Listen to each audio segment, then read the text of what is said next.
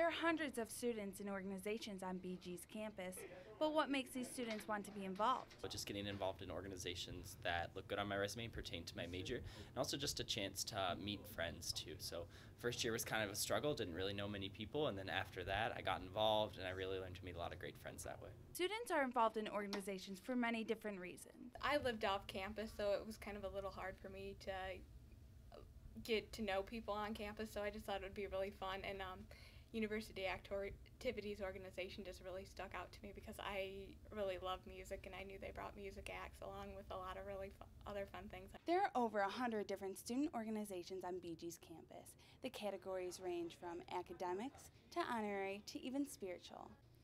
Reporting for BG 24 News, I'm Christina Hebner.